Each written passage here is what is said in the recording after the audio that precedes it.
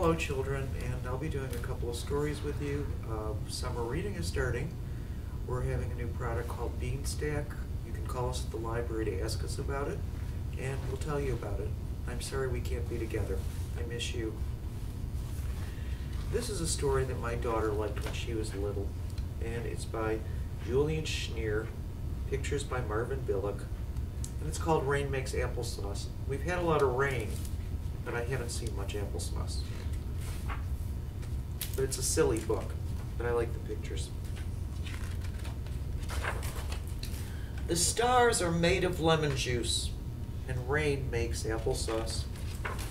I wear my shoes inside out, and rain makes applesauce. My house goes walking every day, and rain makes applesauce. Oh, you're just talking silly talk. But dolls go dancing on the moon, rain makes applesauce. The wind blows backwards all night long, and rain makes applesauce. Monkeys mumble in a jelly bean jungle, and rain makes applesauce. Candy tastes like soap, soap, soap, and rain makes applesauce. Monkeys eat, the chimney smoke, and rain makes applesauce. Tigers sleep on an elephant's snoot, rain makes applesauce. Oh, you're still talking silly, silly talk. Clouds hide in a hole in the sky. Rain makes applesauce. Salmon slide down a hippo's hide. Rain makes applesauce. My teddy bear sings out loud at night. And rain makes applesauce. Elbows grow on a tickle tree. And rain makes applesauce. Oh, you're just talking silly, silly talk.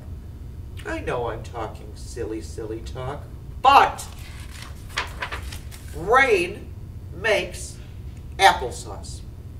Maybe someplace it does. And this is a, a book I like. It's called The Runaway Bunny. Sometimes you always love your mommy, but sometimes you get a little bit cranky and you wish that you could maybe run away. But your mother will never let you do that because you're her dear one and she holds on to you. And this is by Margaret Wise Brown, pictures by Clement Hurd.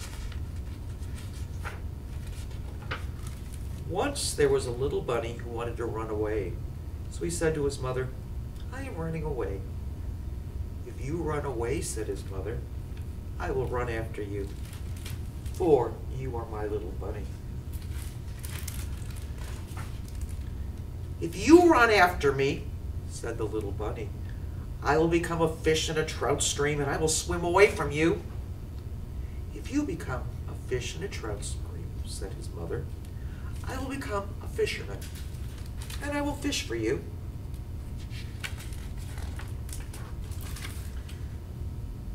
I don't know if you can see it, but the it's a bunny fish, if there is such a thing. If you become a fisherman, said the little bunny, I will become a rock on the mountain high above you. If you become a rock on a mountain high above me, said his mother, I will be a mountain climber. And I will climb to where you are.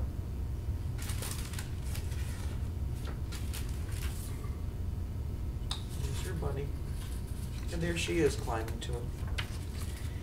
If you become a mountain climber, said the little bunny, I will be a crocus in a hidden garden. If you become a crocus in a hidden garden, said his mother, I will be a gardener, and I will find you. Sounds a little bit scary there. Up, she found him. She found her bunny child right there. If you are a gardener and find me, said the little bunny, I will be a bird and fly away from you.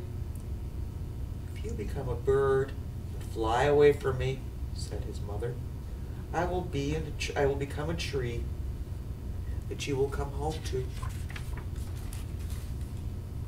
There she is, with her tree arms open to catch her baby bunny bird. If you become a tree, said the little bunny, I will become a little sailboat, and I will sail away from you. You become a sailboat and sail away from me, said his mother. I will become the wind and blow you where I want you to go.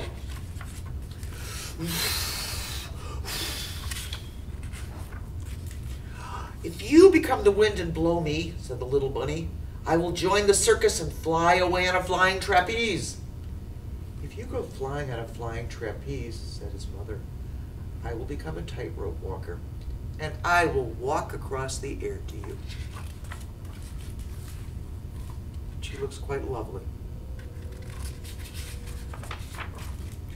If you become a tightrope walker and walk across the air, said the bunny, I will become a little boy and I will run into a house.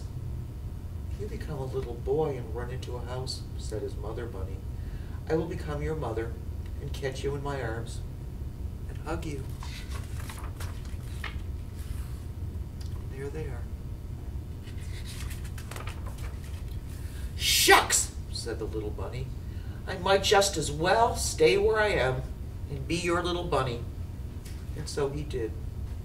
Have a carrot, dear, said his mother. The end. Attention library patrons.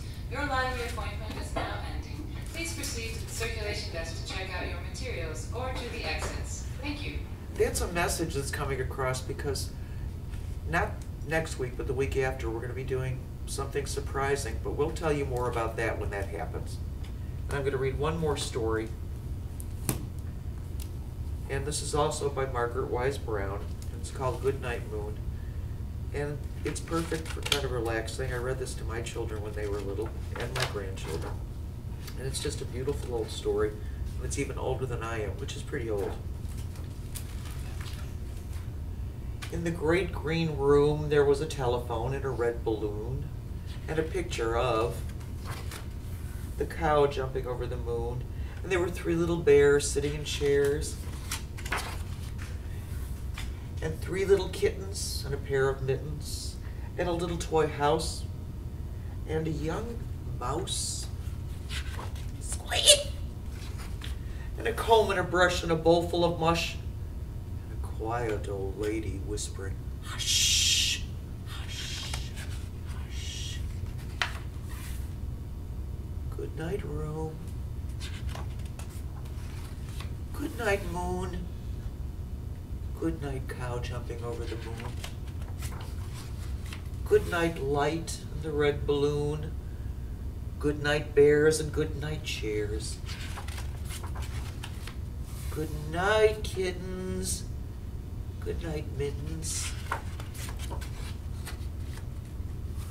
Good night, clocks. Good night, socks. Good night, little house. Good night, little mouse. Good night, comb, and good night, brush. Good night, nobody. Good night, nobody. Good night, mush. And good night to the little old lady, whispering, hush, hush, hush. Good night, stars. Good night, air. Good night, noises everywhere. And I'm pretty sure he's asleep. Thank you. See you soon.